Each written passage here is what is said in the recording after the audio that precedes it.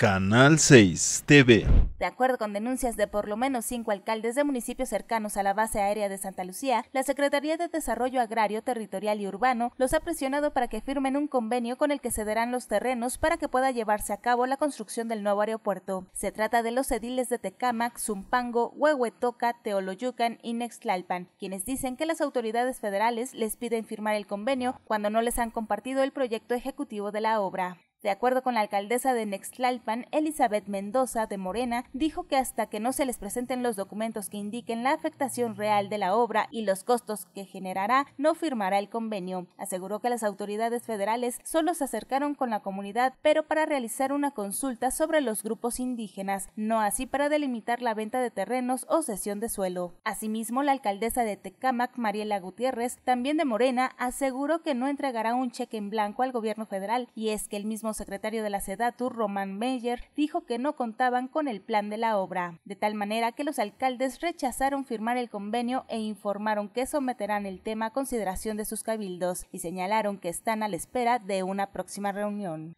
No obstante, a decir de la SEDATU, ya se lograron acuerdos con las autoridades locales y en próximos días se firmará el convenio que busca una coordinación con autoridades locales para elaborar el programa territorial operativo de la zona norte del Valle de México, con énfasis en el proyecto aeroportuario de Santa Lucía. Otro revés que ha tenido el gobierno federal es con la cancelación de la construcción del nuevo aeropuerto en Texcoco, ya que un juez federal de la Ciudad de México admitió a trámite una demanda de amparo que impugna su cancelación, por lo que emplazó a las autoridades federales para que rindan informes justificados sobre la decisión de cancelar la obra, valuada en más de 13 mil millones de dólares y con el 33% de avance. Reportó para Canal 6, Edenis Mondragón.